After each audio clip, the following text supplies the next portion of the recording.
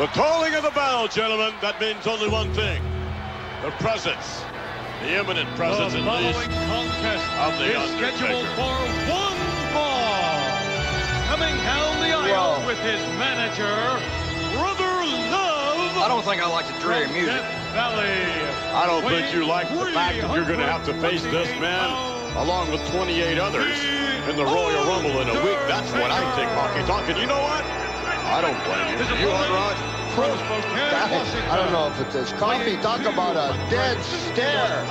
Guy doesn't blink, doesn't flinch. How are you supposed to know his weaknesses? Nobody's had a chance to see him wrestle enough. Nobody knows nothing about him. Honky, you're in trouble. It looks like a lot of people's going to be in trouble from The Undertaker, not just me. And I'm glad y'all have a little sympathy for the Honky Tonk Man for once in a lifetime. Well, I don't know about sympathy would not be the word. I mean, Honky, you know. I mean, after all- Compassion. There you go. Very Compassion, good. yes. That's, that's what we have I for have you. compassion for you. Yeah. Or something like that, anyhow. Unfortunately for Ray Hammer, The Undertaker, oh, right away going to work. And The Undertaker, wow, from way up above. The Undertaker making short work thus far out of Ray Hammer. We had an occasion to speak with Brother Love earlier on, along with The Undertaker, about their Royal Rumble participation. The Royal Rumble is just about a week away. And think about it, Brother Undertaker. After you end the careers of 29 people, you will stand alone, alone in the cemetery looking down at 29 plots. Is a huge advantage going into the Royal Rumble, having the other 29 players not knowing a thing about you, not knowing a thing about your style. Everybody's generally seen everybody else, kind of has a hint of what they're like. Wow, this guy, nobody knows nothing about him. Great chokehold. Come on, ref, get in there. Don't stop, Undertaker!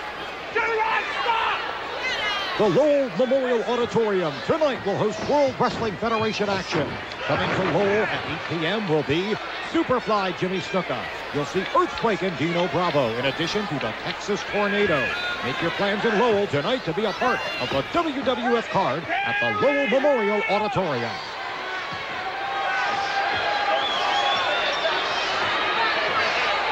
From way up above, The Undertaker with the arm of Hammer goes Ray Hammer. Knows how to use his weight, knows how to climb the ropes, is very good in the air. Guy's got a lot of qualifications. And unfortunately, Brother Love calling for the tombstone, a patented maneuver perfected by that man, The Undertaker.